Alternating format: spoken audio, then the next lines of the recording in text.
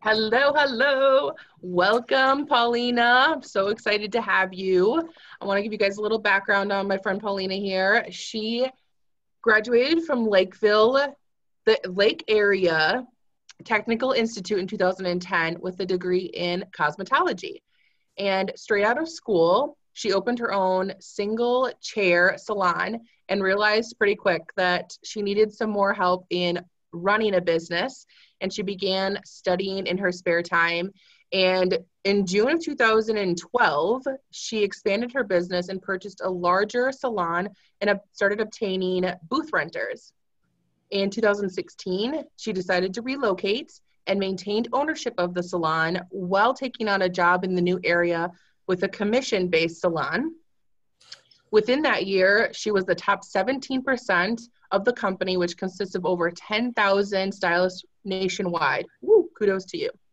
And in the spring of 2018, she decided to go on her own again and began began booth renting as well as having a job with a digital marketing agency. And she's been happy with that decision. So, again, Paulina, welcome to the Live Fearlessly vlog. Thank you so much for jumping on with us and being willing to share your story. And how is your day going? Hey, Rebecca. Uh, yeah, thanks for having me. I'm glad to be here. Um, it's a good day. Snowy Minnesota right now, but you know. Gotta love winter in Minnesota. Yeah, definitely. Love hate relationship, right? Looks pretty, not fun yeah. to drive in. Exactly. So um so paulina the way that i love to start these out is by sharing something that's kind of relatable and lets us know a little bit more about who you are your background and those kinds of things. So go ahead and tell us something interesting about yourself and your life. Okay so um i think we all know what it's like to want a job like that we love and we've all been there but we always kind of compare ourselves to everybody else. Um, yeah. that's kind of what i wanted and like, oh, hair is a fun job, right? Well, I don't know. I guess I always knew I wanted to do it, but there's always struggles along the way, and I think we can all relate to that.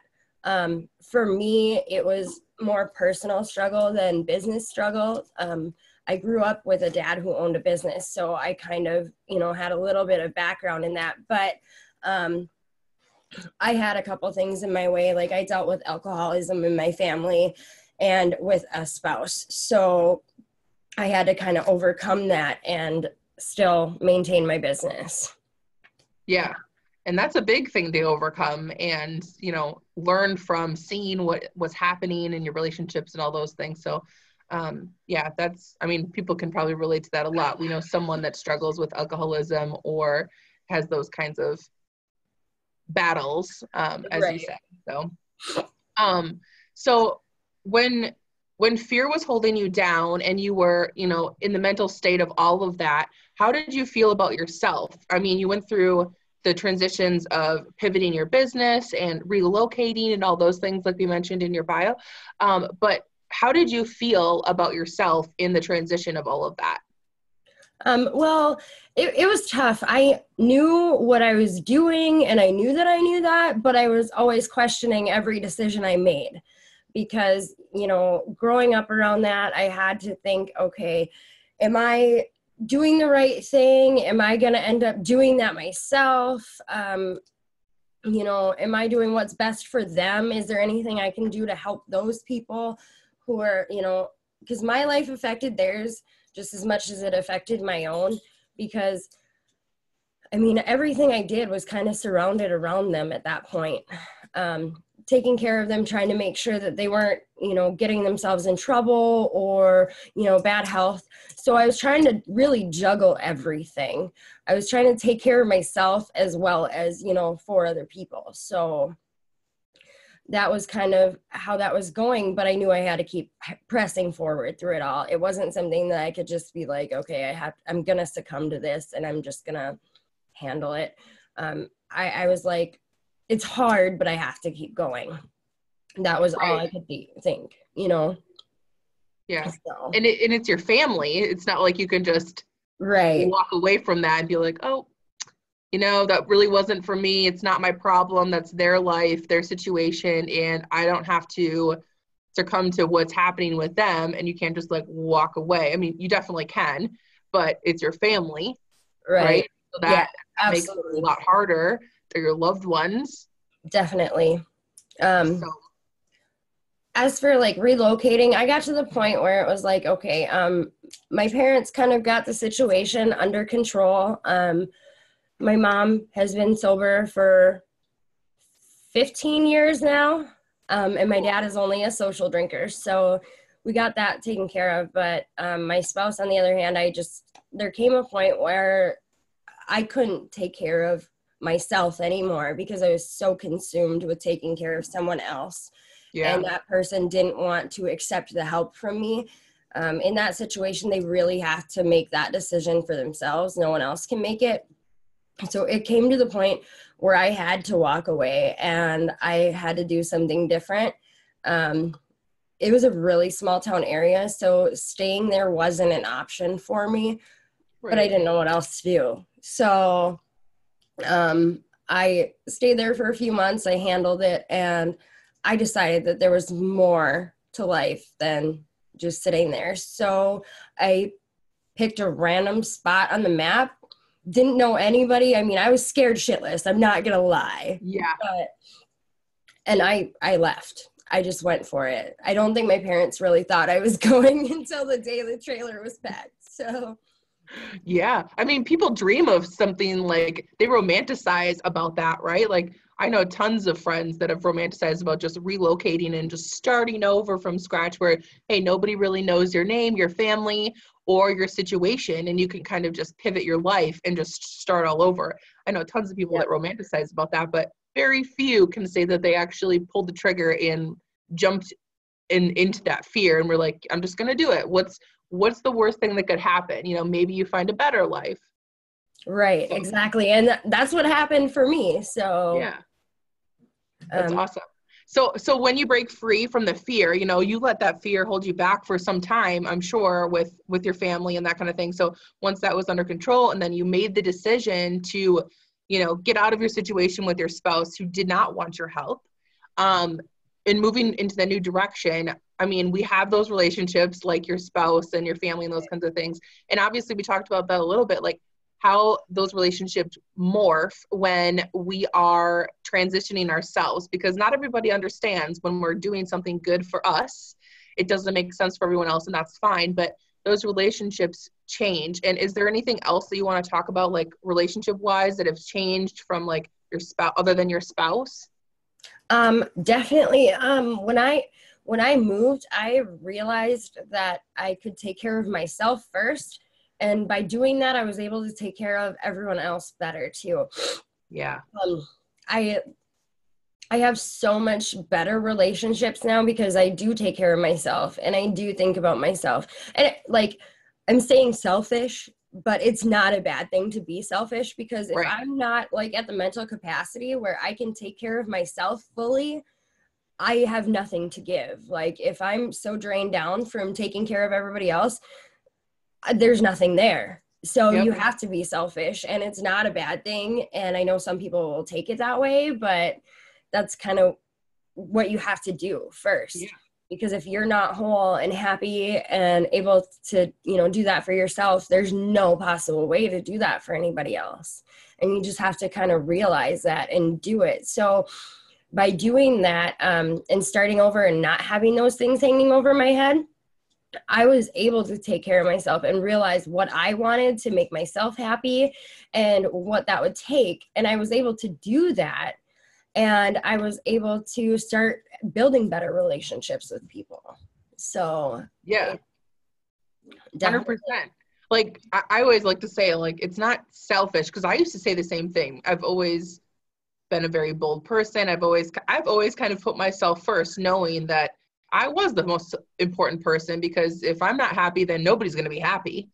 And um i've really i take i take it as self-love and self-care more than being selfish because those things are way more important than you know doing just what we want but it's for a purpose. It's for ourselves.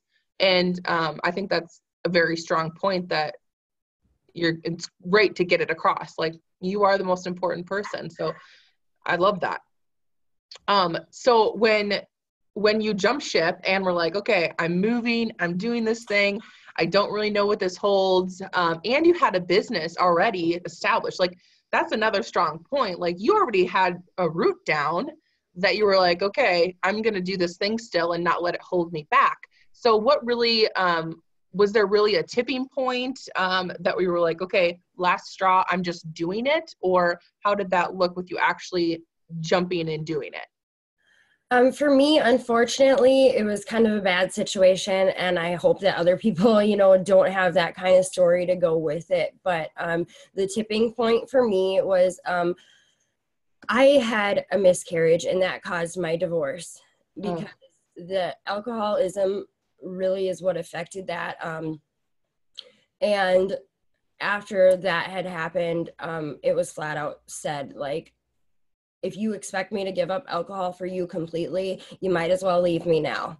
I was like, peace out, see you later. Like that was it for me. Wow. Um, and then I had to start getting my ducks in a row. So I um, I stayed there during the process of the divorce, but I got like I picked the place and I got another job.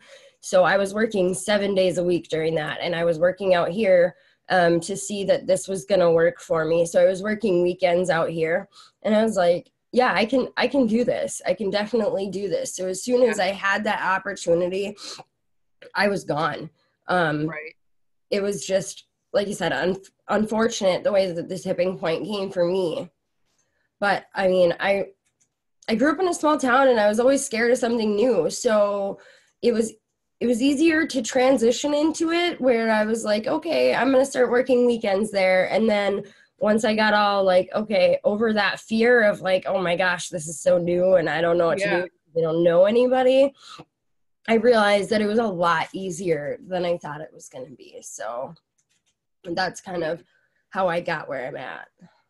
Well, first of all, I'm sorry to hear that you had a miscarriage. It, I, I hear that more often than I would ever like to about situations that you know the stress levels and everything that goes into it. Like you said the self-care like if it's not there your body just doesn't work right. And the fact that that was your tipping point um that is unfortunate. And it happened for you to be able to find yourself more.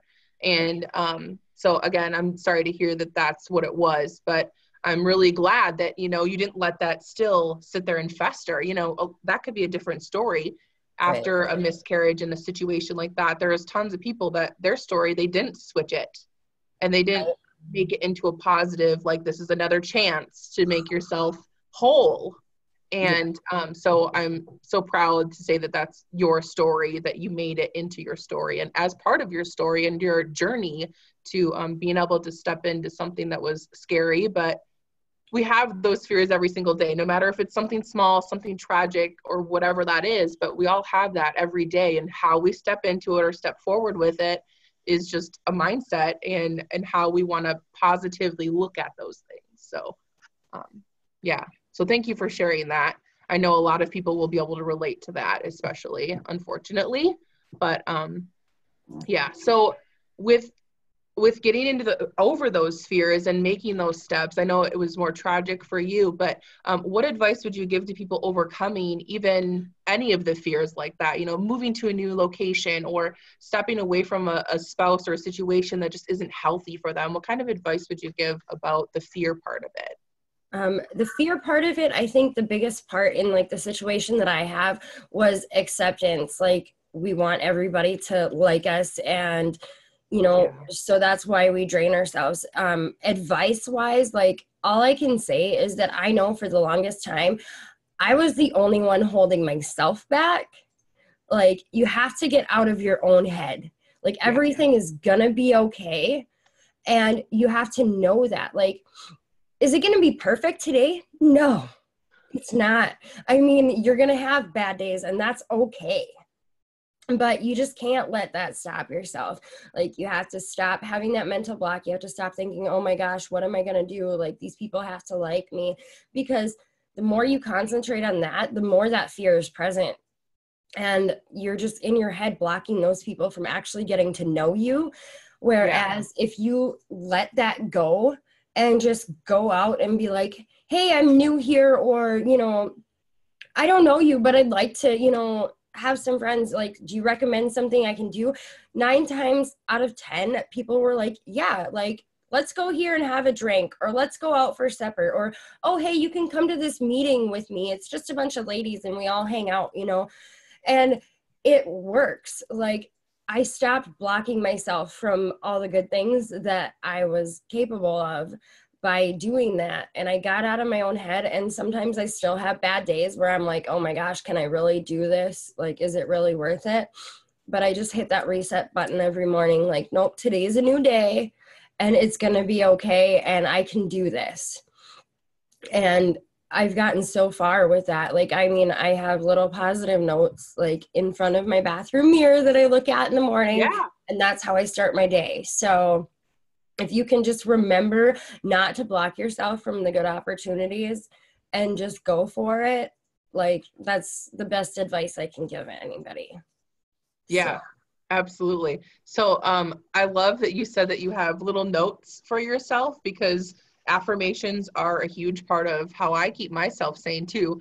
And um, I love I love that you have them in your bathroom on your mirror because that's a place that you probably you know you look and do your makeup and all those yeah. things and you're you question yourself as you're doing them uh, even unconsciously sometimes you know we don't realize yeah. the self-talk that we're doing unless it's right in front of us and it's we make it known what we're saying is it is it positive is it negative and like how we're actually looking at ourselves our situations and how we start our day. So like you said, like in the bathroom right away in the in the beginning of your day to start it off, like that's a great great idea and a great piece of advice. Well, that's the one place I know I'm like getting out of bed and going to regardless of what I do yeah. the rest of the day. So well, and ideally it's probably somewhere that you're by yourself too. Yes. So. Yep. That's helpful too. So that's awesome. I like that tip. Um so okay, so now like where you're living your life, you know, the way that you see it. You're living more fearlessly in everything that you're doing. So I love to dream about where you're going to be. So think about like in the next five years, where do you see yourself in five years? Um, my original answer was thinking like on a beach. Like I'm not even gonna lie, but um, like I'm pretty content right now. So as long as I'm as content as I am now, I mean, I'll be okay because like this year I can't even like you know how it is once you get there, like you're there. Like this year alone, I've been to Florida, I've been to Oregon, I've been to Las Vegas, I've been to California, I've been to Thailand. Yes. And stop blocking my own way. So as long as I can continue to do that and travel and see places and do my job because I love making people feel beautiful and feel good about themselves, like I am completely happy. So as long as I, I can keep that. doing what I'm doing, I'll be good in five years. Yeah, absolutely. I love that. So I have a I have a personal question I would love to know is would you would how would you love to be able to like do do you only do makeup? Do you only do hair? Do you do both? I do a little bit of both. Um, at work, my main my main interest is hair. Um, I yeah. love doing makeup. I do it more so on myself, but I'm getting a little bit more into that. Um, but like I That's do. Awesome. I do hair a lot because I'm the person that people come to when everyone else tells them what they want is impossible. So, and you're like, try me, girl. Show me what yeah, you got. pretty much. That's awesome. So, what is your favorite thing to do? Is it coloring? Is it cutting? What's your What's your specialty? Um, my specialty is coloring. Um, I'm the person that everybody calls when they have like dark hair and they want to be blonde, because, like you said, everyone always says, "Oh, that's so impossible." Well, trust me, it's not. It's about knowing how to do it. So. Yeah I mean, it might not ho- happen overnight for everybody, but I'm able to explain the process and get there pretty quickly by doing it the right way. So that's awesome. I love that. Well, cool. So, um, where can people connect with you? Where's a good place for them to find you? Um, they can find my business page on Facebook, um, Paulina Wollschlager at Bombshells and Brows. Um, they can also look me up um, my profile on Facebook. Um, I'm on Instagram as p. Wollschlager and the Hairstylist Collective and Team True Beauty as well. So um, basically any social media platform under Paulina Wollschlager, the Hairstylist Collective, or Team True Beauty, you'll be able to find me. So very cool. Well, is there anything that you would love to leave the viewers with um, as a last message from you? Um, my last message is like I said, um, get out of your own head because you can get there. It if you just put your mind to it, you can do it. Definitely. I love that. Thank you so much for your time. I'm so glad that you could jump on here and share a little piece of you with us. And I know that they will find lots of value in this. So thank you so much for your time. Thank you guys for watching. And remember to love yourself and live fearlessly.